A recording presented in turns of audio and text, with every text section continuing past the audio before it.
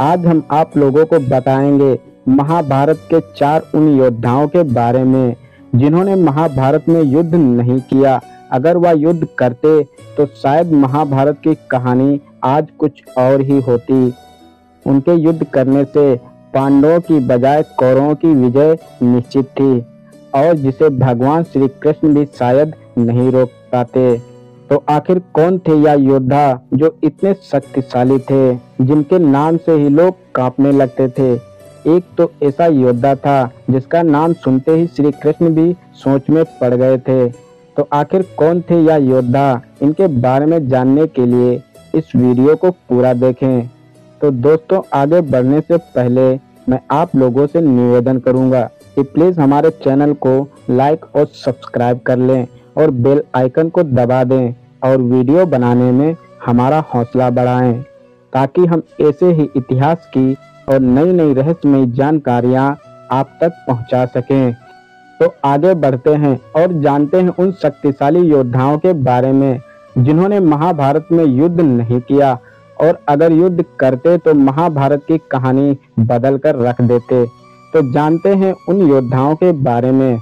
युयुत्सु कौरों का भाई जिसने युधिष्ठिर के समझाने पर युद्ध के एन वक्त पर कौरवों का साथ छोड़कर पांडवों का साथ देने का निश्चय किया। अपनी तरफ़ आने के बाद युधिष्ठिर ने एक विशेष रणनीति के तहत युयुत्सु की योग्यता को देखते हुए योद्धाओं के लिए हथियारों और शरद की आपूर्ति व्यवस्था का प्रबंध करने के लिए नियुक्त किया। कौरवों की सेना कमज़ोर हो गई थी, क्योंकि वे कौरवों की सेना और उनकी शक्ति का संपूर्ण ज्ञान रखते थे और कहते हैं कि जब युधिष्ठिर शरीर के साथ स्वर्ग जाने लगे, तब उन्होंने परीक्षित को राजा और युयुत्सु को उनका संरक्षक बना दिया था। महात्मा विदुर महात्मा विदुर हस्तिनापुर के महामंत्री होने के कारण कौरवों के पक्ष से जुड़े हुए थे। उनकी निष्ठा महाराज धृतराष्ट्र को समर्पित थी। उनकी निष्ठा सत्य के लिए भी थी। इसीलिए वह पांडव पक्ष के लिए भी श्रद्धा रखते थे।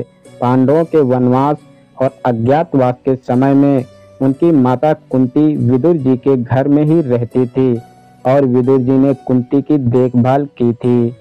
उनके लिए धर्म संकट था कि वह किसकी ओर से लड़ेंगे। इसीलिए उन्होंने युद्ध में भाग नहीं लिया था। धृतराष्ट्र। धृतराष्ट्र की भी बहुत इच्छा थी कि वह युद्ध करें, परंतु अंधे होने के कारण वे युद्ध में शामिल नहीं हो सकते थे। उन्होंने अपनी ओर से दुर्योधन को पूरा कारोबार सौंप दिया था और दुर्योधन ने राजा का उत्तराधिकारी बनकर अपनी सेना का संचालन किया था। इनकी ओर से पितामह भीष्म गुरु द्रोण गुरुकुल, कृपाचार्य सगे संबंधी आदि ने दुर्योधन का साथ दिया था।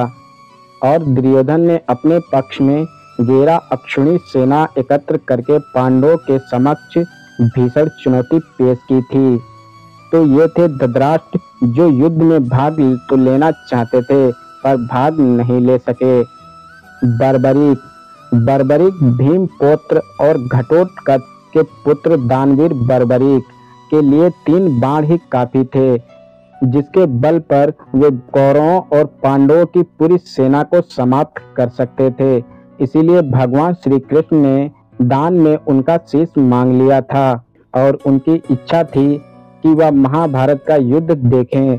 तो श्री कृष्ण ने उनको वरदान देकर उनका शीश एक जगह पर रख दिया, जहाँ से उन्होंने महाभारत का संपूर्ण युद्ध देखा। कहते हैं कि जब वे कौरों की सेना को देखते तो उधर तबाही मच जाती थी।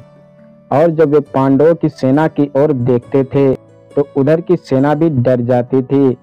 ऐसे में उनका शीश दूर पहाड़ी पर स्थापित कर दिया गया था। युद्ध की समाप्ति पर पांडव ही आपस में झगड़ने लगे। और युद्ध में विजय का श्रेय किसको जाता है, इस पर श्री कृष्ण ने उन्हें सुझाव दिया कि बर्बरी का शेष संपूर्ण युद्ध का साक्षी है। अतः उससे बेहतर निर्णायक भला कौन हो सकता है?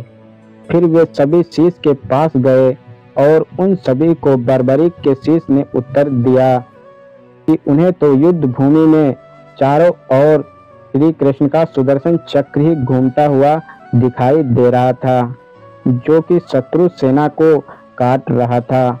महाकाली दुर्गा श्री कृष्ण के आदेश पर शत्रु सेना का रक्त प्याले में भरकर उसका सेवन कर रही थी।